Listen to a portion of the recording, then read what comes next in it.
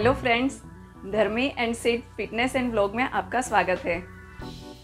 आज का blog special है, क्योंकि बहुत सारे फ्रेंड्स ने रिक्वेस्ट की थी कि आप शूटिंग के लिए प्रिपरेशन कैसे करते हो और किस तरह से शूटिंग करते हो, वो हमें डिटेल में बताइए। तो जो फ्रेंड्स अपनी यूट्यूब चैनल स्टार्ट करना चाहते हैं, उनके लिए भी आसान रहेगा। तो आज मैं धर्मिस किचन के लिए चिली पनीर का शूटिंग करने जा रही हूँ और इसके लिए सबसे पहले मुझे प्रिपरेशन करना पड़ेगा। पहले मैं सब वेजिटेबल्स निकाल के रखती हूँ।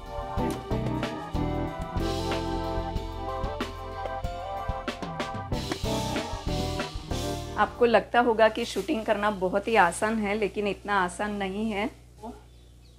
अगर आपके पास शूटिंग के लिए टीम हो तो आसान रहेगा, लेकिन अकेले शूटिंग करना हो तो थोड़ा मुश्किल भी रहता है।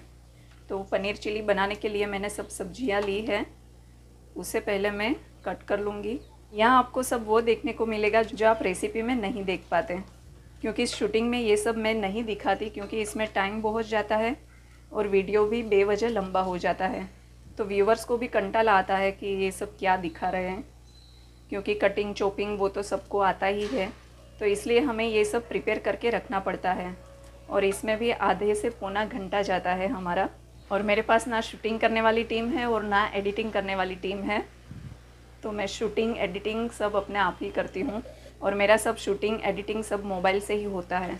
तो जो फ्रेंड्स यूट्यूब चैनल स्टार्ट करना चाहते हैं, उनके लिए भी आसान रहेगा, क्योंकि इसके लिए हमें कोई प्रोफेशनल कैमरे की ज़रूरत नहीं है। तो आपको अगर शूटिंग आ जाए और थोड़ा बहुत एडिटिंग करना आ जाए तो आप ये काम आसानी से कर सकते हो।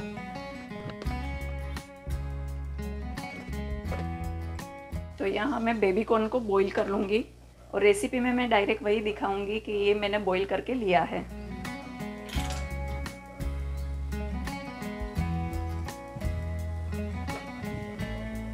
और साथ ही साथ हमें सब क्लीन भी करना पड़ता है, क्योंकि वीडियो में अगर थोड़ा सा भी गंदा दिखे तो वो अच्छा नहीं लगता।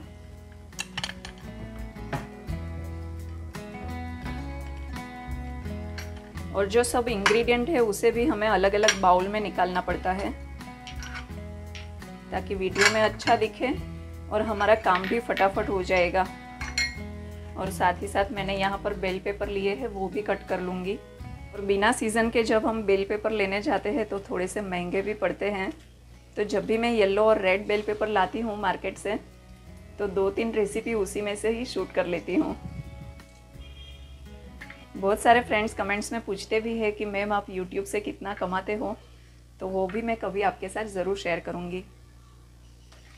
अच्छा खासा कमाती हूँ, लेकिन इसके लिए मेहनत भी बहुत ही करती हूँ। आपको वो सब रेसिपी में नहीं दिखता कि हम कितनी मेहनत करते हैं, लेकिन इसके लिए बहुत मेहनत करनी पड़ती है। आपको पता नहीं होगा, लेकिन मैं साढ़े तीन बजे उठ जाती हूँ और साढ़े तीन बजे उठकर मैं एडिटिंग करती हूँ। साढ़े तीन से छः बजे तक मेरा एडिटिंग चलता है और उसके बाद रूटीन काम होता है। बारह बजे तक मेरा शूटिंग चलता है सुबह में। उसके बाद लंच बनाना और घर का काम बीच बीच में रहता है, वो सब है। और फिर पूरा दिन एडिटिंग में चला जाता है, तब जाके एक रेसिपी रेडी होती है। तो आपको लगता होगा कि ये बहुत ही आसान है रेसिपी बनाना शूट करना और अपलोड करना तो वो इतना आसान नहीं है।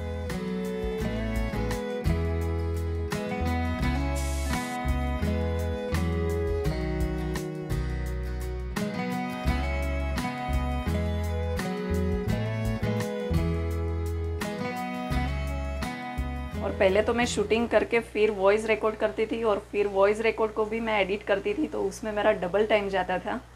और अभी मैंने इस तरह का एक रिकॉर्डर ले लिया है तो मैं शूटिंग करते वक्त ही रेसिपी बोल देती हूँ तो मेरा एडिटिंग का टाइम काफ़ी बच जाता है।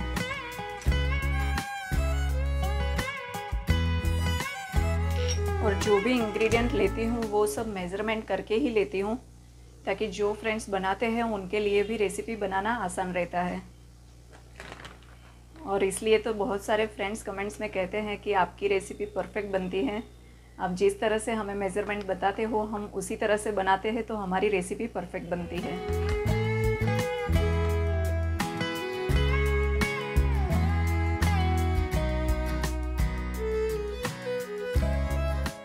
आप देख सकते हो कि तैयारी में भी कितना टाइम जा रहा है।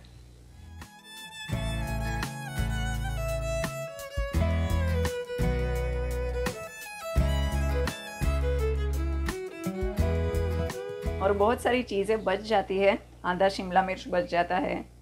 तो इसे मुझे संभाल के रखना पड़ता है और नेक्स्ट रेसिपी में इसका यूज़ भी करना होता है, ताकि ये वेस्ट ना जाए।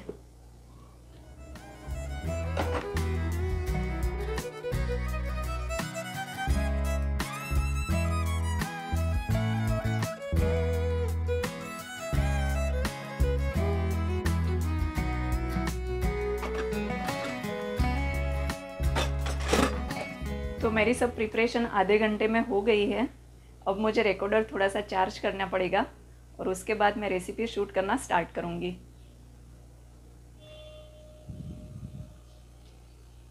अब मेरे पास दो मोबाइल हैं, उसी से मैं शूट कर रही हूँ। एक जो आपको दिख रहा है वो सामने मैंने रखा है और एक शूटिंग के लिए मैंने यहाँ पर सेट किया है।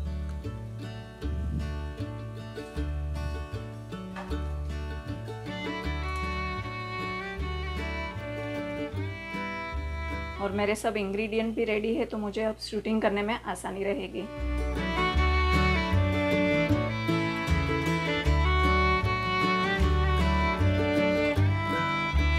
अब जो ये वाला रिकॉर्डर मैंने ये मोबाइल में लगाया था, वो मैं अब शूटिंग वाले मोबाइल में लगा दूँगी अब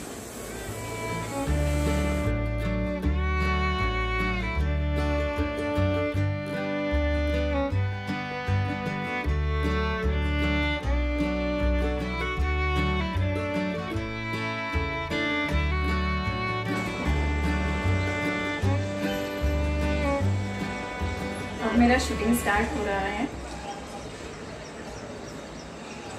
पनीर चिली। पनीर चिली बनाने के लिए मैंने यहाँ 200 ग्राम पनीर लिया है और इसे इस तरह से लंबा कट कर लिया है।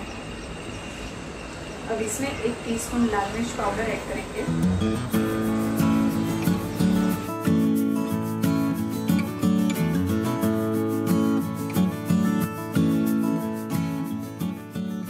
भी फिर आके रहता है भी ऐसे ही शूट करता है एंड काफ़ी टफ है। लाइट का भी बराबर सेटिंग करने का कैमरा भी बराबर फ्रेमिंग करने का प्लस साथ में रेसिपी बनाते जाने का एंड देन लास्ट में एडिटिंग भी करने का। सो so, काफ़ी टफ है बट फिया बहुत इजीली मैनेज करता है। एंड हम कौन सा camera stand and light use करता है वो हम कमिंग वीडियोज़ में आपके साथ ज़रूर शेयर करेंगे। एंड वीडियो कैसा बनता है कैसे परफेक्ट आउटपुट आता है वो आप धर्मेश किचन में जाकर रेसिपी देख सकते हो।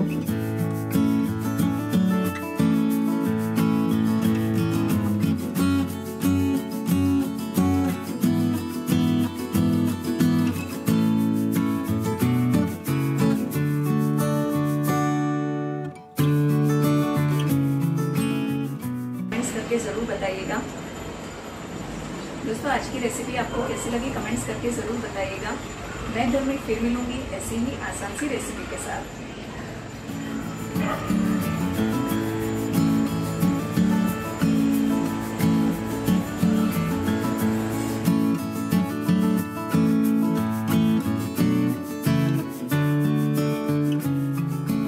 फ्रेंड्स तो इसी तरह से होता है मेरा शूटिंग शूटिंग करना इतना मुश्किल नहीं है, लेकिन एक दो घंटा जो हम मेहनत करते हैं, क्योंकि गैस चालू रहता है तो हम पंखा भी चालू नहीं कर सकते और ऊपर से ये 40 वोल्ट का बल्ब तो गर्मी भी बहुत ही लगती है। जब रेसिपी लंबी होती है, तब तो लगता है कि चक्कर ही आ जाएगा। ऊपर से मुझे विंडो भी बंद रखना पड़ता है, क्योंकि नहीं तो बाहर की आवाज़ आती है तो रिकॉर्डिंग में भी डिस्टर्बेंस होता है। तो इतनी सारी गर्मी में शूट करना बहुत ही मुश्किल है, लेकिन सब इतनी अच्छी अच्छी कमेंट्स करते हैं। तो रेसिपी शूट करने में बहुत ही मज़ा आता है और मुझे इंस्पिरेशन मिलती है कुछ नया करने की और अच्छी अच्छी रेसिपी शूट करने की। तो आज का वीडियो आपको कैसा लगा वो कमेंट्स करके ज़रूर बताइएगा। और अगर आप यूट्यूब चैनल स्टार्ट करना चाहते हो तो और कौन कौन से वीडियो आप देखना चाहोगे वो भी हमें कमेंट्स करके ज़रूर बताइएगा। तो हम ऐसे ही इंटरेस्टिंग वीडियो के साथ फिर मिलेंगे। तब तक के लिए बाय बाय